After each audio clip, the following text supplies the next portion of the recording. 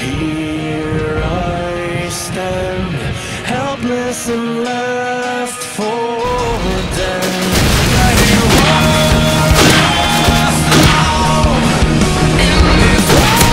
Oh.